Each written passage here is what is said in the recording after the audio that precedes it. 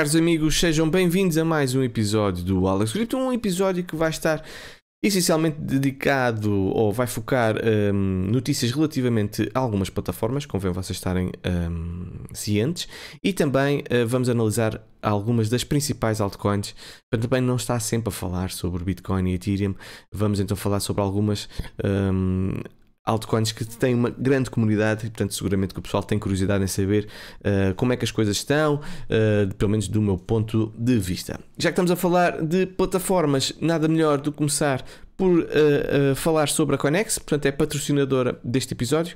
Aqui temos um exemplo do, do que é o layout um, da, da Conex para tu operares ao nível de spot, ao nível de futuros. Também tens acesso a drops, também tens acesso a promoções. portanto, Tens aqui tudo o que precisas para operar neste mercado. A Conex, para quem não sabe, um, tem a companhia mãe que é a Via BTC e a Via BTC é uma das maiores pools de mineração do mundo, portanto está neste momento em quinto lugar. Portanto, é uma plataforma que tem um background a nível de Bitcoin e segurança de Bitcoin, obviamente acima da média, um, devido um, à sua ao seu, ao seu trabalho da sua companhia mãe, digamos assim, ok? Portanto, se quiserem se registar e habilitar-se a 50 dólares que vão ser oferecidos na próxima semana, tens o link no final da descrição uh, para o fazer, ok? Vamos então avançar com as notícias. Uma notícia que mostra que os Estados Unidos estão, um, ehm, não vou dizer mais empenhados, mas talvez uh, mais dedicados um, ehm, a tentar controlar aqui os mercados um, de operações ilícitas. Uh, e aqui temos nesta notícia que o Departamento de Justiça dos Estados Unidos fechou a plataforma cripto Bitslato e que o seu CEO foi preso. Portanto, o Departamento de Justiça um, acusou a plataforma de facilitar mais de 700 milhões em transações ilícitas vinculadas à Rússia, lavagem de dinheiro e atividades criminosas. Portanto, por aquilo que eu estive a ler, está associado claramente à Dark Web, a algo que se chama intitulado de Hydra, ok? Uh, e, pelos vistos, foi uh, um golpe fatal, digamos assim, por parte aqui do Departamento de Justiça uh, para a Bitslato e prova que uh, se calhar vamos ter mais atuação por parte das autoridades americanas e acho muito bem, desde que as pessoas estejam a fazer algo ilegal, devem efetivamente assumir essas responsabilidades e serem, e serem os seus negócios serem efetivamente eh, fechados para proteção dos utilizadores. Outra plataforma que está aqui hum, sobre a alçada hum, do SEC é a Nexo.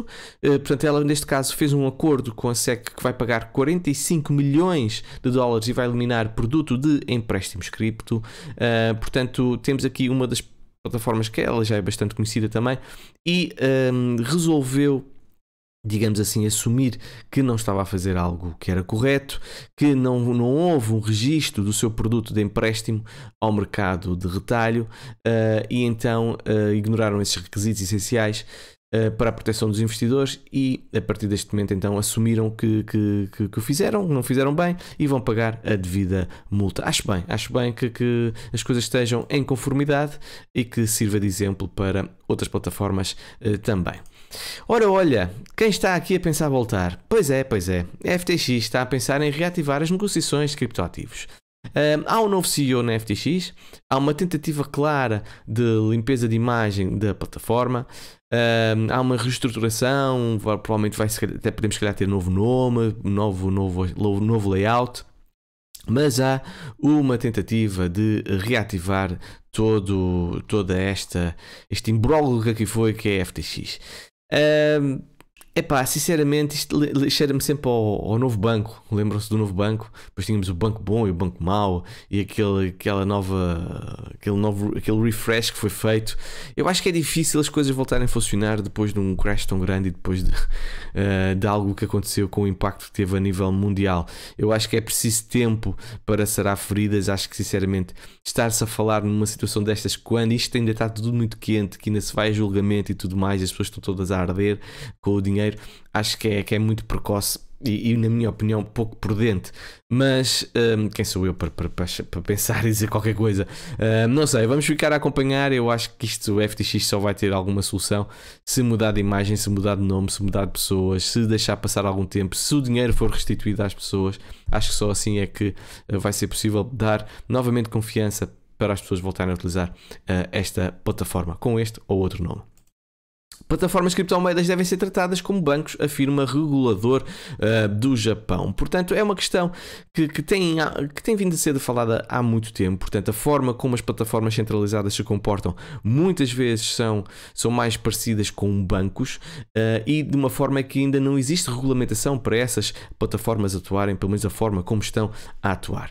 Uh, portanto, este, este, este, este argumento por parte, este, esta opinião por parte um, do do, do, regulador do Japão uh, faz sentido, provavelmente vai ser a norma nos próximos anos, uh, principalmente em 2023. Vamos assistir, acho eu, a uma tentativa, tentativa de regulamentação das plataformas centralizadas e elas vão querer fazê-lo até para operarem em diferentes mercados, em diferentes países. Ok? Mineradores uh, estão, uh, Bitcoin aumentam as suas reservas em até 100%. Eu quando vi esta notícia, Hã? como é que é possível? Tantos mineradores estão à rasca e eles estão a aumentar as reservas em 100%. Depois estive a ler uh, e não são todos. São alguns, alguns mineradores, desta feita, uns dos principais, que aumentaram as suas reservas em 100%. Ou seja, estamos claramente no processo de separar o trigo do joio e seguramente mineradores ou empresas de mineração vão uh, cair neste processo e enquanto outras vão aumentar até cota de mercado uh, porque saem deste, deste bear market muito mais fortes, ok? Vamos então agora falar sobre os mercados. É um gráfico que eu não vos costumo mostrar, é o gráfico do USDT ponto D, ou seja, é a dominância de USDT uh, e eu não gosto porque depois há a impressão de dinheiro do USDT e às vezes as coisas uh, são para mim um bocadinho sempre difíceis de, de analisar quando há algo artificial por trás, uh, mesmo que seja backed ou não, é das grandes questões com o USDT. Mas para mim é sempre um bocadinho difícil analisar o STT, pelo menos a dominância do STT. Mas pronto, há muita gente que o faz, eu particularmente não, não aprecio, mas não quero deixar também de trazer aqui ao canal algo que pode ser importante para a tua análise. E aquilo que nós podemos ver é que temos uma tendência de subida do STT, a dominância do STT, que finalmente foi quebrada, reparem nas últimas duas semanas, que também justifica aquilo que está a acontecer ao mercado cripto, ok? Nomeadamente uh, Bitcoin. Portanto, neste momento estamos aqui numa zona de suporte que é bem visível mas podemos estar aqui ainda num padrão, não é, não é podemos, estamos num padrão imaturo, eh, principalmente ao nível da semanal. Na diária, até parece que estamos a fazer, não, não é parece, estamos a fazer uma bear flag aqui, portanto, que pode levar, obviamente, a continuação de queda ao nível da dominância da, da, de, de, do STT. E se assim for, uh, provavelmente vamos ver uma continuação da, da subida uh, dos mercados. Portanto, fica aqui uh, a opinião uh, do que está a acontecer ao nível do ST. Vamos então falar sobre altcoins e a primeira é provavelmente uma das preferidas do, do pessoal. Eu neste momento não tenho Cardano, ok? Já tive, já vendi, portanto não, não tenho qualquer um, ehm, interesse nesta análise de tentar inclinar-vos para A ou para B, aliás nunca tenho, mas pronto, fica sempre mais uma vez o esclarecimento e dizer que Cardano está numa situação pode ser potencialmente difícil perigosa. Se vocês virem bem, a nível de tendências macro, aquilo que nós podemos ver é esta linha roxa, certo? Ok?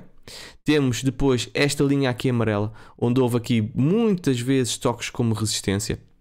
E depois houve aqui toque como suporte, portanto, efetivamente é uma, é uma linha uh, importante que neste momento também está a funcionar de resistência Uh, e depois também temos os suportes horizontais macro, nomeadamente uh, de 16 de abril de 2018 e também de janeiro de 2021. Reparem claramente uma zona que anteriormente era um suporte importante e que neste momento tornou-se resistência. Portanto, temos uma tripla resistência fortíssima neste momento aqui um, eh, em, em Cardano que pode de facto indiciar apenas isto e só um bearish retest e continuação de queda aqui para esta zona aqui dos 15 cêntimos. Não estou aqui, não estou a dizer que vai acontecer, mas ao nível de leitura gráfica, de uma forma muito simples, posso ver continuação de tendência de queda com altos e baixos, que é normal perfeitamente, uh, mas um, estamos quebramos suportes muito importantes eu acho que seriam muito importantes uh, para Cardano. Portanto, alguma prudência, na minha opinião. Voltarei a ficar mais confiante com Cardano se subirmos acima desta tripla resistência, fizermos aqui suporte e aí sim as coisas se calhar vão estar mais tranquilas uh, para Cardano, ok? Vamos continuar a acompanhar. Outro, outra moeda que é importante e que se tem portado muitíssimo bem comparativamente a muitas outras é BNB, portanto a Binance Coin, e onde reparar que eu, eu estou a escolher as moedas do top 10 um, e aquilo que nós podemos ver é que BNB está a fazer uma mega bull flag, ok?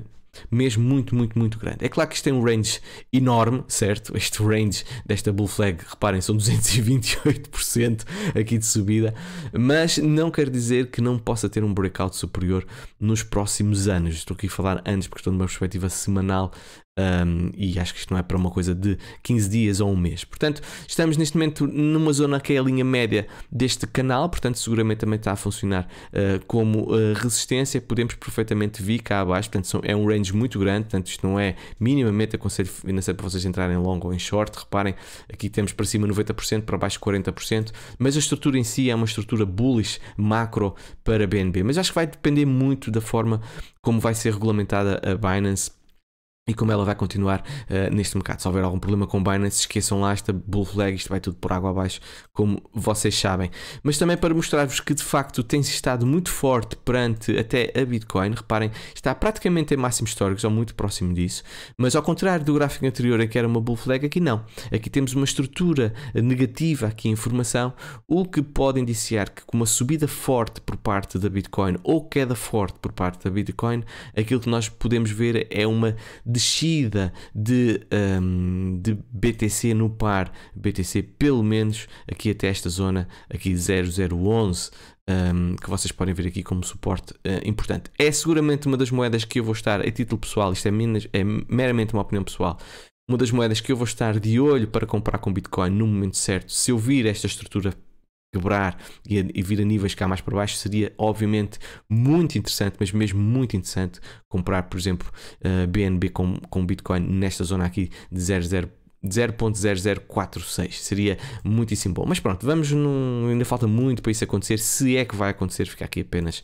uh, uma mera indicação. Temos que também falar sobre XRP, porque XRP há muita gente que gosta de XRP, mas digo-vos já, XRP é um aborrecimento porque isto praticamente não anda, isto não desata nem. nem, nem é, é, temos aqui um nó, temos aqui um problema enquanto isto não for resolvido com, com, com a situação de tribunal, do SEC.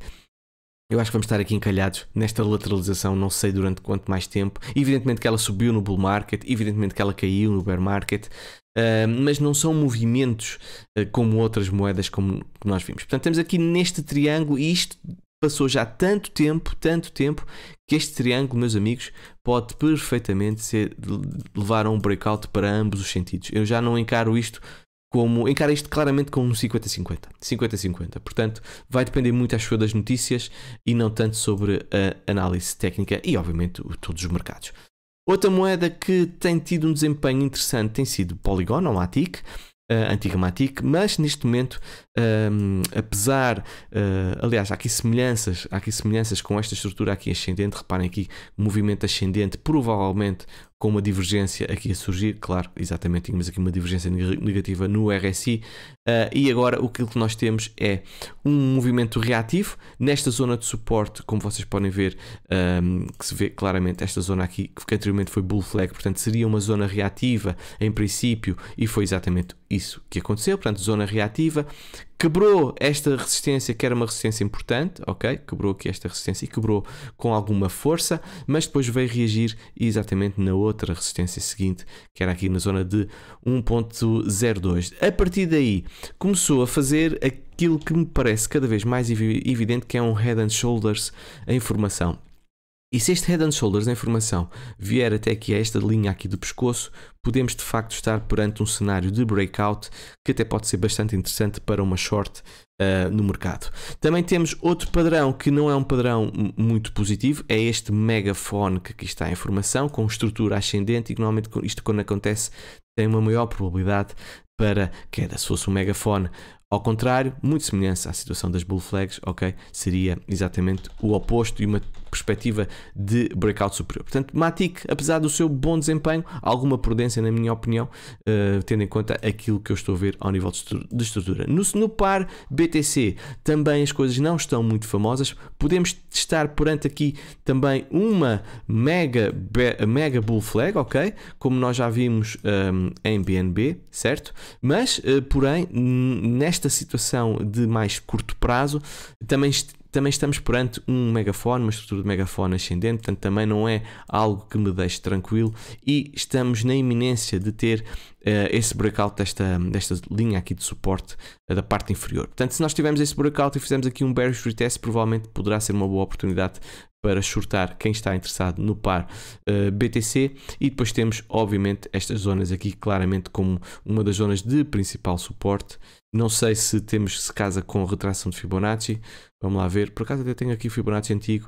Um, temos aqui mais ou menos é, a zona de 0.5 de uh, Fibonacci, portanto, claro, casa também com essa, essa sempre tão importante retração de 0.5 de Fibonacci. E pronto, pessoal, espero que tenham gostado do episódio. Foi um episódio mais pequenino, só para manter a parte também de algumas altcoins. Se quiserem que analise outras altcoins, deixem também nos comentários. Também agradeço, depois vou ter em consideração num dos próximos episódios.